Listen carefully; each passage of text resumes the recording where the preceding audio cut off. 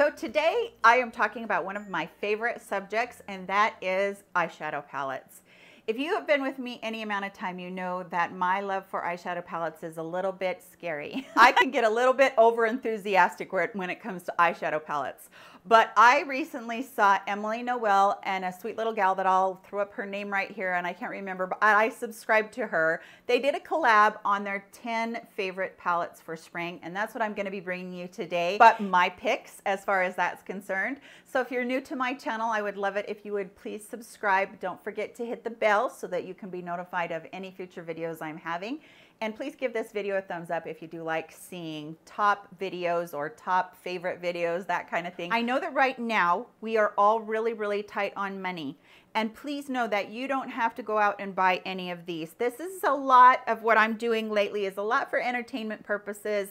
It's to kind of show you maybe what you could go back into your collection and get. I have, I think, only one palette in here that I have purchased this year. The other palettes are palettes that I've had for a long time, but they were just in my collection. So you probably have these colors that you can look at and go, oh, I love those and just be happy with them. So please know that I'm not encouraging anybody to, you have to go out and get this. I'm just showing you some really great, beautiful springtime palettes. So the first one on my list is from Wet n Wild, and this is their Color Icon 32 pan eyeshadow palette. If you love that Color Icon formula that's in the 10 pans or the 4 pans, you're gonna absolutely love this. And they put together this gorgeous lineup of colors, and I just was like, for the price, I think that this was like $15, but for that price, you're getting such good quality. You're getting that great color icon quality and you're getting such a gamut of colors to be able to look at. So I have swatched several colors right here and they are so easy to blend out and they're very, very pigmented. But you now, know that when you put your brush into a product, it's so much different than just swatching it on your hand. And that's what I feel like the star is on each of these palettes is that you can put a brush in, you can blend it out. It's gonna look absolutely beautiful on your eyes. So this one had to definitely make it into a springtime lineup because of this whole color scheme. The colors in here are great, but you have this huge row of neutrals and other cool tone neutrals that you could go into too. And you don't have to just think, oh, okay, well, this is a color palette. It's not just a color palette. It has the neutrals that you can use as well. So versatile and so pretty. My next palette for spring is from Profusion and it is the Festival palette. I got this last year when it very first came out and I am so impressed by the gamut of colors on this one as well and the springtime looking colors. You have the great pastel colors but you also have a lot of depth in here and you have again the two rows of your basic neutrals in here. And I did swatch quite a few here and I'm not a good swatcher so it kind of goes in a weird thing around my arm there but I love this palette. Now, I will say that you do have to work with these mattes a little bit more. They are ones that you do have to build up a little bit more with your brush, but the metallics in here are fantastic. And once you do use the mattes and you're building and you're, you know, just blending, they blend and they stay on so good. And I just think that this is a palette for the money, for the money that is just outstanding. And I love working with this one. And as you can tell right here, this is my favorite shade right down here, which is, let's see if we can find it on my arm, which is this shade right here, which looks very unassuming on my hand, but that is the prettiest duochrome. This one's a duochrome as well. But this one is a pretty beautiful duochrome to put on your lid and I reach for it all the time. Now, so. Dominique Cosmetics is a brand that I have loved their shadow formula so much. This is their original latte palette. And the reason that I picked this to go in this lineup of spring colors is you do have so many in here that are very neutral and you can work with, but they're brighter neutral colors that go so well on so many different skin tones. And then you have a couple little pops of color, but you guys, these metallics right here, they are just outstandingly beautiful. So you have mostly mattes in here. All this row right here, and these two colors are all mattes, and then you have your metallics up here simply beautiful. And don't be afraid to mix and try different things together in here. And even though latte kind of invokes, you know, warm weather and that kind of thing, just think iced latte. Here's the colors right here. And the reason that I like it for spring is because there are times when you just want neutrals, right? I do have a couple palettes in here that are just about being neutrals, But this one, when I was talking about earlier about the um, Sunkissed palette being all about the metallics, this one's all about the mattes. The mattes are just silky and blendable and pigmented and buttery, and they go so well on your eyes. When I and started to work with it, it's like, oh, this palette is just so beautiful. So Dominique Cosmetics, you really can't go wrong with her palettes, but that latte palette to me is something that's really special. I, what would a palette roundup video be without having having an Anastasia Beverly Hills palette. This is the Norvina palette. And this palette, when it first came out, I wasn't very excited about it because I thought there was going to be more purples in it. But in working with it and just using it a lot, I was really loving it. So I did swatch it right here for you. This is springtime as far as, okay, I have a lot of pinks, I have a lot of purples to work with. I have this periwinkle blue to work with, which is just an outstanding color to work with. But this can transition into summer and fall if you want it to too. So it's a beautiful bright palette, but at the same time, you're gonna be able to reach in it, do a whole entire look, not have to reach for another palette, which is what I love about it. And if you guys have ever had an Anastasia Beverly Hills palette, you know that the quality is superb. It is so good. And for me, this is the one that when it's springtime, this is the one that's gonna go through the rotation. So just blendable and beautiful and gonna make some gorgeous looks for springtime Lots of pinks and purples, like I said, and lots of neutrals that you can mix in with those. All right, so this part was hard for me because there are two palettes from ColourPop in this nine pan palettes that I love. One is from the Blue Moon and one is from the Lilac You A Lot. I guess if I was gonna pick from the two, it would be Lilac You A Lot. This is totally a spring palette and it has such a nice, diverse, pink scheme to it. So you're going to be able to go and you're going to be able to get mauves, you're going to be able to get purples, you're going to be able to get pinks, you're going to be able to get all kinds of different things in here. And it is just, it's that gorgeous, you guys. It is that pigmented and that beautiful. And if you love purples, this is the one that I would go for. They do have the It's My Pleasure one, which is the actual purple one, which I do like. But because of my skin tone, I reach for these lighter colors most. And you can do just a look out of here. That's what I like about it too. So you don't have to reach for another palette if you don't want to because you can deepen, you can go into like a transition color, which would be more along the lines of this mauve color right here. I just found that this palette is so versatile and so pretty. And the Blue Moon palette, it's just as pretty, but I don't reach for as many of these colors. Like I have just a couple of my very favorites and I'll just swatch those for you. I have used the whole thing before and yes, it's gorgeous. I continue to use it. I think they're beautiful. But I guess if I was going to pick from the two, it would be the lilac. But if you guys have your eye on one of these nine pans that you think would be good for you, pull the trigger because they don't have the glitter in them that ColourPop has been doing in the past. They do have a lot of that Super Shock formula in some of them. I find that they are just next quality, so beautiful. The Gone Coconut, the Going Coconuts one, I think it's Going Coconuts, is an extremely gorgeous neutral one. So if you're wondering about just wanting a neutral one, that one is beautiful too. But these two for springtime were like, yeah, I kind of had to say a whole purple palette somewhere in this lineup. Okay, next in the lineup is a palette that I picked as my number one palette a few years back, a few years back when I did my ranking. And have you ever just gotten caught up in new releases and you're trying new things and you forget about palettes that you have and then you go back and you go, why did I ever leave you? this is this palette right here and it's the new nudes from Huda Beauty. Now, I have had several palettes from Huda Beauty in the past and I've loved them, but recently I have just completely fallen in love again with this palette. And the color scheme on it is, of course, you know, very berry, mauve um, there is some neutral tones in here, but it is a very mauve neutral palette, that kind of thing with the berry colors thrown in there and a lot of beautiful metallics. Now, I will say that the metallics are not for me what draws me to this palette. What draws me to it is the variation very slightly across the pinks, the mauves, and the nude colors.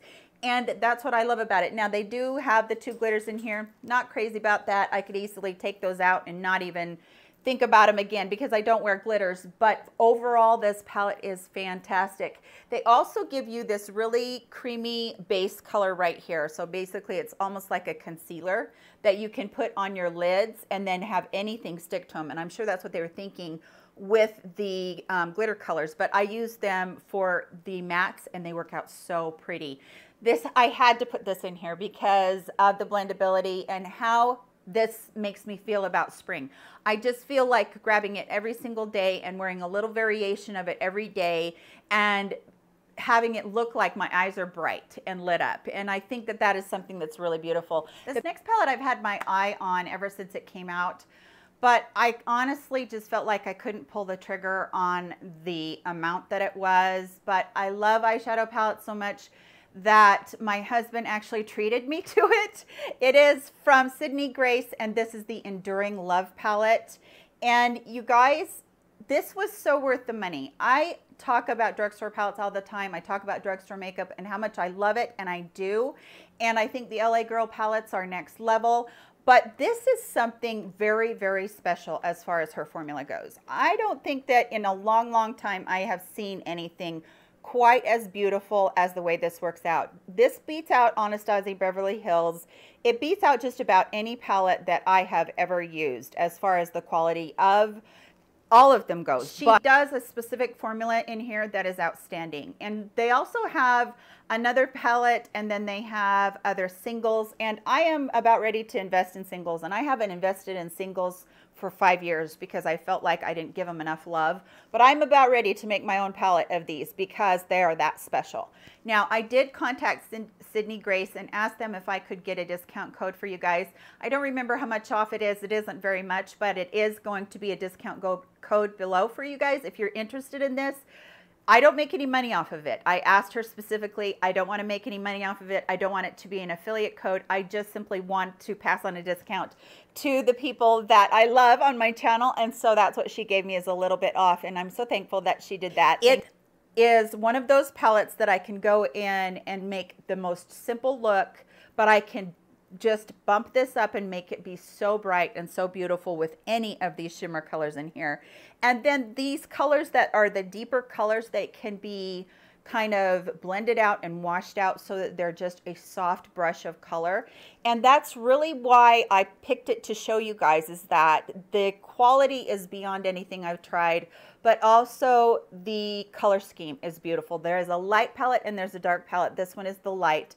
And when you get to the dark one, it has more along the lines of these neutral colors get a little deeper and they get a little warmer. So it's just gorgeous, you guys. I think it's one of those that you just will really be impressed with if you're an eyeshadow palette lover and if you don't mind spending a little bit more money. I, one of my all-time favorite palettes for any season, it doesn't matter what it is, is the Anastasia Beverly Hills Sultry palette, but it's not one that she has in her lineup anymore. It's discontinued, but you can get one that I like better, and it is from Alter Ego, and it is the Temptress palette. And the reason that this palette made it into my spring lineup is it never gets put away. I mean, there's some palettes that I will put away for like the summer, they're way too warm, you know, they've got too much autumn colors in them, or in the in the winter I put them away because they've got too bright of colors in it. This palette never gets put away. I can just make this palette into the brightest look. I can make it into the most neutral look. I can make it cool, warm, whatever. It is one of those palettes that is Quality wise, the blendability is fantastic. It doesn't matter whether we're looking at mattes or shimmers.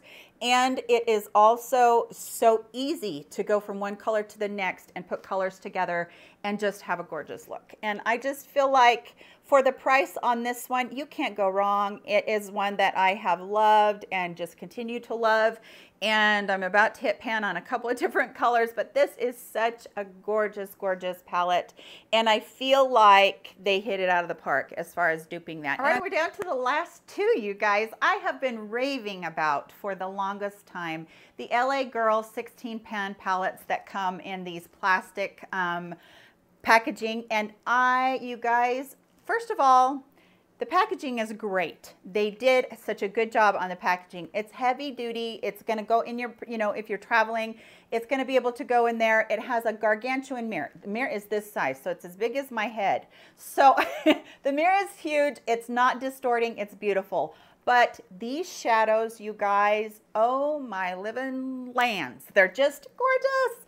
I cannot begin to tell you how amazing quality these shadows are for drugstore. I am so blown away. I have all six of them and I started to collect them not last year but the year before when they very first started to come out and I believe that this one which is um, Aloha Vibes, this is the Haute Heat ones.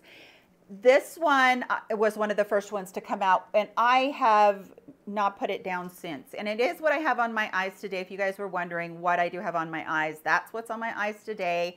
And I just love, love, love working with this. And they're right here. And you guys, they just perform so well. If you look at the LA Girl website or if you happen to be, I think they sell them at CVS, I know that they sell too now at Ulta and I saw some at Target the other day. So if you happen to be in any of those places and you look and you see them and you're thinking you're like on the fence whether or not they're going to be any good, they are good. They're really, really, really good. And I just find that as far as them being ones that are from the drugstore and they're also pigmented, blendable, work really well on my mature eyes, don't show up a bunch of texture. They're just so beautiful. So let me show you what I have on my eyes today.